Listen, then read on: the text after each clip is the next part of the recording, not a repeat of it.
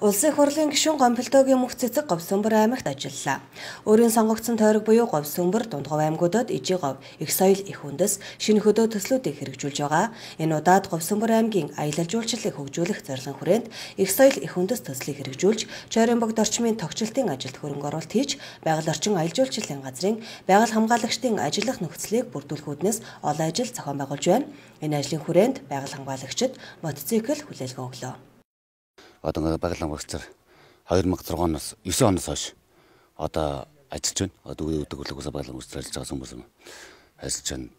Тэгээ яг ер нь бол цааш юу яхад нөө 10 хэдэн жил ажилласан чинь тэгээд яг ер нь л цааш тагаа бид нар чинь өдөртөө нэг бас нэг ингээ тоороо явахаар нэг 100 битгэл 200 гаруй км уусаа явдгийг. Одоо энэ тусгай амгалтай газар орнотог гэж байна. Тэгээ яг энэ төгд оролттой газруудаараа өсө байгаа явдаг байхгүй. Тэгээ За хэрэг зөрчлөө ерөнхийдөө 14 14 оноос хойш ерөнхийдөө хэрэг зөрчлөө ерөнхийдөө тун гайг болсон. 14 онд ерөнхийдөө жоохон зөрсөл ялангуяа бас нэг зөрмөнд дандлын өндөр бас нэг их зөрсөл илэрж исэн. Тэр үл их юутай жоо одоо сүүлийн үед бол гайг болсон. Одоо ингээд бид нар бас нэг явж байгааг нь эргүүл төрөл ингээд яваад байгааг өөр ашиг бас гарч ийн л та бас тэгээд. Одоо сайхан шинэ унаатай боллоо. Тэгээд ийм сайхан сайхан унаатай боллоо. Одоо энэ тэгээд бас нэг за баглагчны газар болж байна. Одоо сая нэг гişүүн мандрс гардууллаа. Бас баяртай байна. Одоо цааш тагасаа тэгэл өргөө сэтгэлээрээ уусаг ажиллахаа амарч энэ тэгэл. Би төхний одоо үйл ажиллагааны онцлог гэх юм бол одоо аа би төхний одоо наад харагдаж байгаа Чойрын богд улсын тусгай хамгаалалттай газар. За энэ газар орон нутгийн одоо бас үйл ажиллагааг нь одоо орон нутаг өөрөө эрхлэн явуулдаг байгаа. Тусгай хамгаалалттай нутгийн тухай хууль заасны дагуу одоо нөөц газрын ангиллаар авагдсан энэ газар нутгийг бол одоо орон нутгийн засаг захиргаа өөрсдөө хамгаалтын үйл ажиллагааны зохион байгуулж ажилладаг. За тэгээд Жорин богд эдийн засгийн хамгаалтай газар маань одоо бас энэ одоо говийн бэсрэг номхон улсын тоонд хамаардаг боловч одоо энэ говь хэрийн бүсийн одоо бас зэрлэгаан амтэн аратан жигүүртний одоо бас оршин амьдрах нөмөр нөөлөг болсон ийм одоо байгалийн одоо бас энэ зохицлбор одоо үзэсгэлэн болон аратан амтан жигүүртний одоо бас хорогдох орон болсон ийм газар юм байгаамаа. За тэгээд энд одоо улаан наманд орсон орсон аргал хойно за тэгээ одоо аратан жигүүртэн олон амтан бол энд одоо бас хамгаалттай энэ бүс нутагт одоо өсч үржиж байгаа ийм газар байгаа. За өнөөдөр одоо бас одоо улсын хурлын гишүүн одоо манай тойргоо сонгогдсон Гобилдогийн мөнх цэцэг гишүүн маань одоо бас Чарин богд уулын тусгай хамгаалтай газрын одоо одоо өргөтгөх энэ асуудлыг одоо санаачилж одоо орон нутгийн удирдлага одоо бид бүхний санаас наашаа дэмжиж одоо улсын тусгай хамгаалтын газар нутгийн хэмжээг өргөтгөх ажлыг одоо бас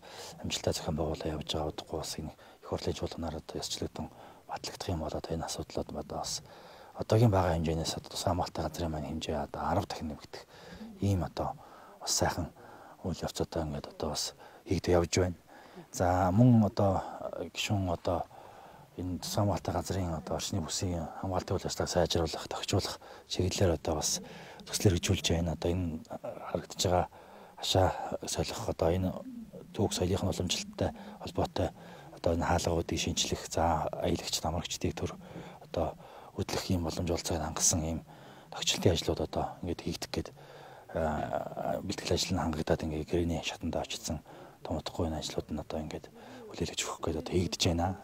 За цаашд бид нар энэ ер нь бол одоо Чойрын богдоо түшиглээд Говьсөнбөр аймгийн маань одоо ер нь бол бас аялал жуулчлалын томоохон бүсийг бас байгуулж болох юм одоо болцоо нөхцлүүд нь бас байдгийг. Тэгээд энийхээ дагуу одоо бас нэлээд олон ажлуудыг бас хийж байгаа маа. Тэгээд өөрийн сонгогдсон тойрогтой санаачлаад хэрэгжүүлж байгаа ажлын маань нэг нь үл яалтчгүй нэг их соёл их үндэс гэдэг хөтөлбөр байгаа. Энэ хөтөлбөрийн хүрээнд ер нь Чойрын богдынхоо энэ орчмыг одоо бас тогшил үйлчлэгийн сайжруулалтаар бас нэлээд хэдэн зүйлүүд хийсэн байгаамаа. Гадна талынхнуудын хашааг бас нэлээд өргөтөх орчин үеийн одоо шинэ одоо хийц бүхий юм одоо хашаа хаалгуудтай болох талаас нь бас нэлээс анхаарсан байж байгаа. Мөн одоо манай цаг наргүй ажиллаж байдаг энэ байгаль хамгаалагч нарын маань одоо бас нийгмийн асуудал энэ унаа шинэ асуудал гэдэг нэлээд их олон жилдээ сэтгэл зовоос ажлууд байдаг. Энийг бас одоо тусгаад олгох ажлуудыг бас хий явж байгаа. За мөн дээр нь хамгийн одоо орчин үеийн одоо дэлхийн одоо бүс нутгуудад байж идэг аялал жуулчлалыг дагаад хөгжиж идэг энэ виртуал гэдэг энэ одоо зүйлийг бас тусахын тулд бас одоо миний одоо нэржүүлж байгаа хөтөлбөр маань бас ажиллаж байгаа юм. Ер нь одоо бас энэ чойрын богд орчмын энэ газар нутаг бол одоо стедийг сөдийн хүртэл бол нэлээд олон одоо тийм эртний соёлын төв байсан гэдэг утгаар нь бол энэ соёлын галголомт гэдэг утгаар нь боржинчуудын ер нь бол өвийг хадгалсан нутаг гэдгээр нь одоо бас орчин үеийн энэ одоо виртуал одоо хөрөмжөж хилжүүлээд хуучин байсан байдлыг бас үзүүлэх таниулах юу нэрээд хоочтой бас үлдээх гэдэг ингээд олон зүйлийн ажлуудыг бас энэ өөрийнхөө санаачсан их соёл их үндэс хөтөлбөрийн хүрээнд бас хийгээд явж байгаа.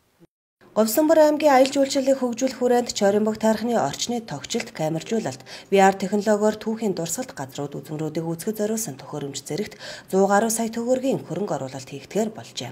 Чоримбог тайрхны хувьд улсын тусгай хамгаалалттай 5300 га талбайг хамардаг. Цаашид хөлийн цэсийг өргөдөх ажлын хүрээнд талбайн хэмжээг 59 мөнгө болгохоор ажиллаж байгаа. Харин Говьсонбор аймгийн байгаль орчин аялал жуулчлалын газрын хувьд 12 хүний бүрэлдэхүүнтэй үүнээс 3 байгаль хамгаалагчтай үйл ажиллагаагаа явуулж байна.